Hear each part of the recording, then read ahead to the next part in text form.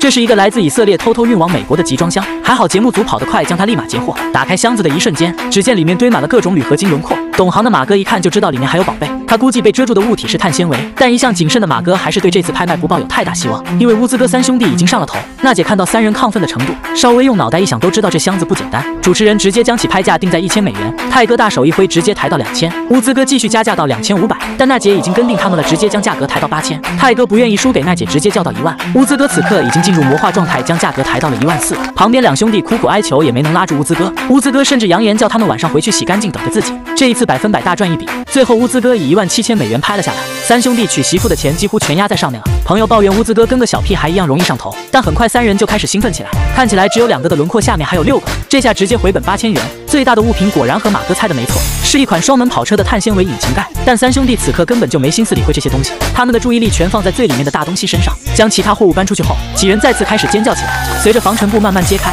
一辆五十年代后期的保时捷跑车出现在几人面前，三人直接血赚三万八千美元。这下娶媳妇的钱不仅够了，甚至还能多带两个回家。乌兹哥兴奋的直接开始飙起了车，接着来到第二个集装箱，打开的一瞬间全是木头。马修判断里面是高档葡萄酒，但杰哥已经露出一副势在必得的笑容。价格被老黑友情提到一千美元，娜姐也来了波，顺水推舟抬到两千。杰哥嫌他们太啰嗦，直接开价五千，这让众人一阵欢呼。但此刻在旁边不开枪的马哥说话了，直接标价到了一万二。杰哥今天势必要和疯子马修刚到底，但当他报价两万的时候，脸上已经笑不出来了。看来杰哥的上限快到了。就在他刚好嘚瑟的时候，马哥直接开启狂暴模式，抬价到二万七。杰哥想弄死马哥的心都有了。最终疯子马修用二万七的价格拍了下来。首先是四百瓶伏加特，轻松回本一万一。接着出现的酒直接让马哥看不懂，一个来自越南用眼镜王蛇头泡的药酒，这玩意马哥都不知道到底值多少。朋友们觉得这酒能卖多少钱？接着几大箱全部是廉价的啤酒，马哥把希望放在了后面的大桶上，就当他以为全是高档葡萄酒的时候，结果一喝全是醋。这次导致疯子马修直接亏本两千美元。